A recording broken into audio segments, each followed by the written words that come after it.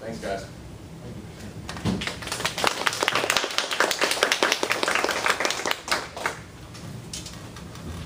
Um, my name is Jennifer Axsmith. I'm a biology major here at South. Um, currently, I've worked on fossil gopher tortoises uh, from the Pleistocene, last, last ice age. And right now, I'm fixed to do some really cool work on some of our native um, turtles in the freshwater streams, uh, musk turtles. So we have an example here. Um, they're rather little grumpy turtle that are known for, they call it musk turtle because they produce a really foul smelling odor when you mess with them. Um, they tend to bite, but they can make good pets due to their small size. The main risk with any aquatic turtle can be salmonella, and everybody's probably heard, if you're familiar with reptiles, of the, um, the salmonella scares with the small turtles and how you're not supposed to sell them if they're under four inches. So, um, these guys aren't commonly found with, um, the pet trade. You may find baby turtles, sometimes they'll have them at the flea market, and they're about that big when they hatch out, cutest little thing you ever seen. But, um, the problem you have with, again, with any of them, you need to be sure that you have good, uh, high-quality filtration with any of them. If you have children who are gonna be handling of course, you know, always make sure that you're washing your hands, that you really are watching your water quality on them, because the last thing you want is a case of salmonella. I've had it before, not from reptiles, but from my own. Um, the really neat thing, there, we have, I believe, five species native here in Alabama of different musk turtles. And, um, three are commonly found in the Mobile County region.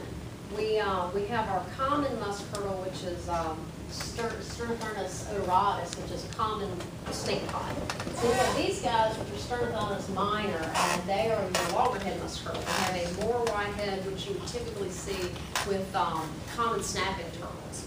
And they have, as far as I can tell, the temperament of common snapping turtle too. But, uh, they're, they're, they're really cool pets. They, um, they develop their little personalities. They get to know their owners. I've got two of the common stink pots in my house, and they, when I come in, they jump off their log, they swim up to the front. They really are very interactive. They want to be fed. They eat, then they still want to be fed.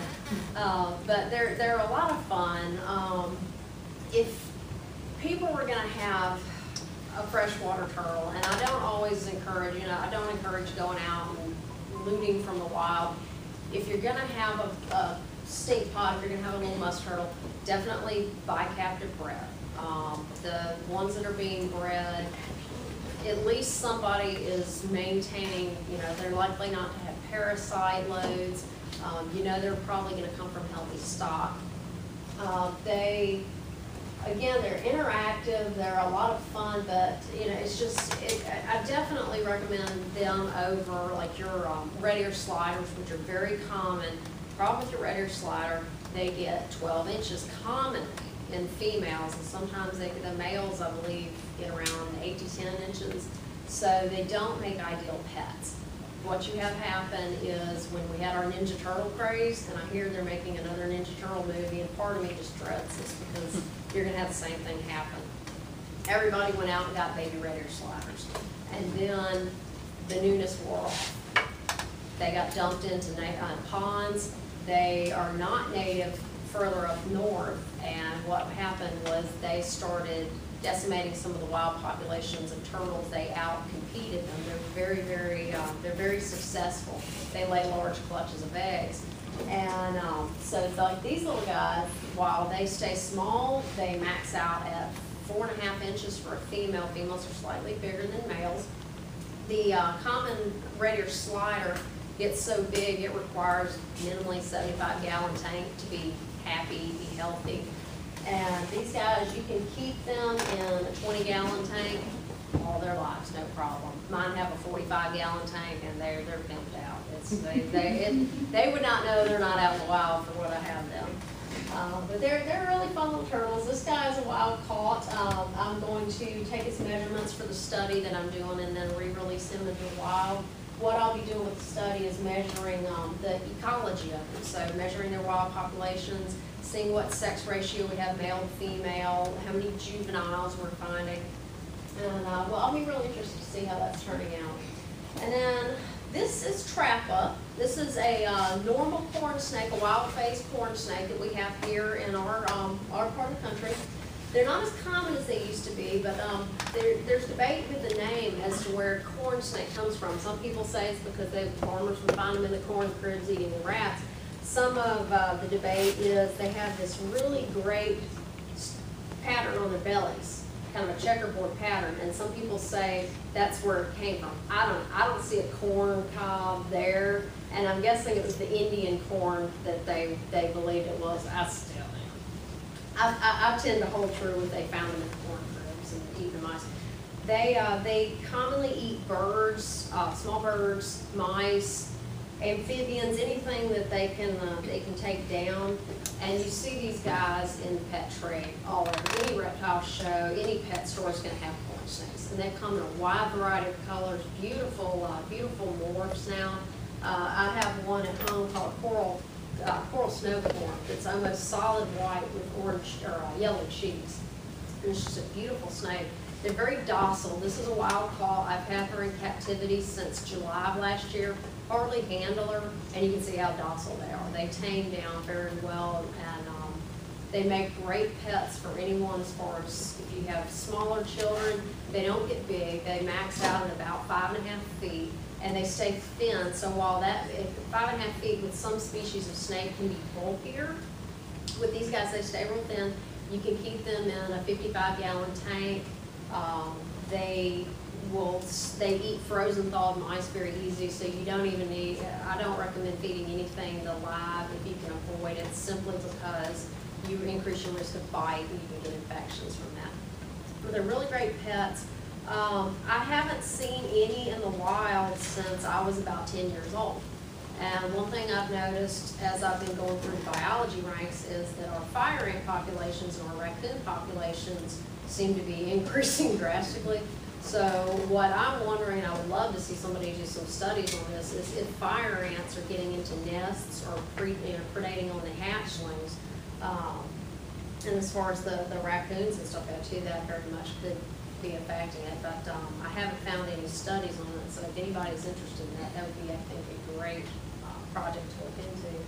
Um, but they, they make great little pets, um, again, you can find them in every color morph you can imagine, from bright yellow, bright solid red, um, just beautiful patterns. Um, the normal corn snake pattern is this section right here. But they have what's called jungle morphs, where they start taking them and breeding striping down the side. And as a wild type, she has some of that striping, so she would have been, when people started initially breeding them, she would have been something that somebody would have seen in the wild and gone, oh God, and then tried to breed out. But uh, they are, they are fun little snakes. I really recommend them as far as pets, because as far as them and ball pythons, they are about the most docile snake I've ever come across. And the last little guy I have for his first snakes goes, this is a baby eastern hognose. And these are very common around here, a little bit more north than uh, down here in, in uh, Mobile. You may hear them called a puff adder. And these little guys, when they get upset, they'll throw out a little hood like a cobra. They get about three feet long as adults. And they'll hiss, they'll swell up with air, they'll puff out. And then if that fails to scare you off or scare, scare the predator off, they will produce a foul smelling, horrible musk, flip over on their back and pretend to be dead. And everybody thinks they're dead. They're, they're so convincing that they will draw flies. And if you flip them back over, they will flip themselves back over, pretend to be dead again, until whatever it is that's scaring them, yeah. Um, whatever's scaring them finally wanders off, and then they'll flip themselves back. Um, they'll flip themselves back, and they'll go on about their business. Um, I do not ever, this is an eastern hognose snake. I made a mistake in getting this as a pet, and here's why. They're almost exclusive toad eaters. They, in the wild, very seldom eat anything other than species of toad. And this is, it- it's almost impossible to get them to switch over to eating frozen thawed or even live mice in captivity. I have to go out and catch tadpoles for this little guy so that he can eat. because I have a responsibility as pet owner to make sure that he's at least eating. Had I to do it over again, I would never get one of these guys. There's one that's from the western part that's called a western hognose snake. They commonly eat mice. Much better pet. Much less time involved with having to go out in streams in January on this, you know, rare seventy degree day, catch tadpoles. As he grows up, I'm going to keep trying to get him switched over, but there's no guarantee that'll ever happen. And that's why they make absolutely wonderful pets. Um, they're great for demonstrating, uh, a native species. They're accidentally killed by many people because they think they're poisonous. They have a little tiny upturned nose, and it's almost a triangular snout, and then when they puff and they hiss and they look scary, people think they're poisonous, and they mistake them for a cottonmouth or a copperhead. Totally harmless. Uh, again, they will do everything to avoid conflict. They will do, they will faint, they will pass out, they will stink. They, they even go as far if they do strike at you, it's a closed mouth strike. Where, uh, even a corn snake, he gets very upset, he will do an open mouth strike and, and tag you with, with tiny teeth. These guys will do closed mouth strikes. They will never, I mean, almost never bite you. But they get killed all the time by accident because people don't realize that they're completely harmless. But again, it's not one that I would recommend, even though, I mean, that, that's cute for a baby snake. Even if you don't like snakes, you like, that's cute. Um, I still don't recommend them for pets, simply because of the dietary needs for them.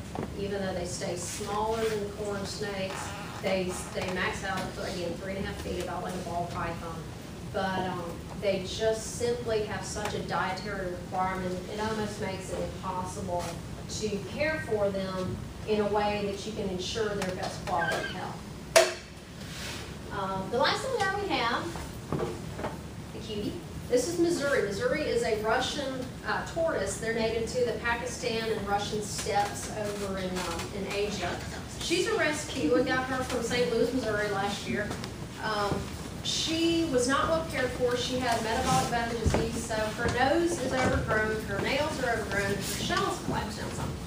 As far as a pet tortoise go, you cannot go wrong with these guys. They're a lot of fun, they're personable, again, they learn their, their owners, and they will come running up to, um, to be fed. She lives loose in our apartment. I don't, I, she's a wild caught, um, they still routinely capture these guys in the wild and ship them over here in mass quantities. There's, they're just now starting to captive breed them, so I would encourage anybody who's thinking about getting one to purchase a captive bred pet, because it's simply, it's, it's, it's not as, it's not humane to be taking them out of the wild as they're doing. And you also, you're taking wild populations away that, as Alex was discussing about conservation, every one you're taking out of its habitat is one that would be breeding, that would be reproducing in its native habitat. So the reason I don't have her in a cage is I figure if she's used to having an acre to wander around, I can give her an apartment, I soak her in a kitty litter pan every other day, she goes to the bathroom in the water, I flush it down the toilet, and she wanders about. When she wants to eat, she comes up to be fed. Um, so she's, she has, she's a lot of fun. Um, I don't recommend doing it if you have a dog or a cat that would think it's a, it's a tasty little snack. Um, They can live in fifty-five to seventy-five gallon aquarium. Fifty-five, of course, would be much more ideal. Um, she is full grown. This is a, is an example of a, a little bit actually larger female than you would typically get, simply because with her shell flattened down from her deformation. Um, she, they typically have a little bit more round shell. She's a little bit more of a, a larger scale on them. They, uh, they eat vegetables, they don't eat any meat, so you can feed them, um, the spring mixes with calcium dust and vitamin dust on them. Ground up, uh, various vegetables, carrots, squash, things like that. And they make ideal little pets. Um, they're not aggressive at all. They very, very, very seldom bite. You almost can't get them to bite, so it's not a turtle that you really need to worry about with children. Um,